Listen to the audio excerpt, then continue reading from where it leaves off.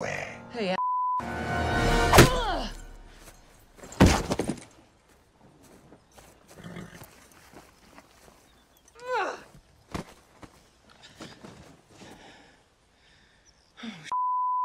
I can't leave him like that.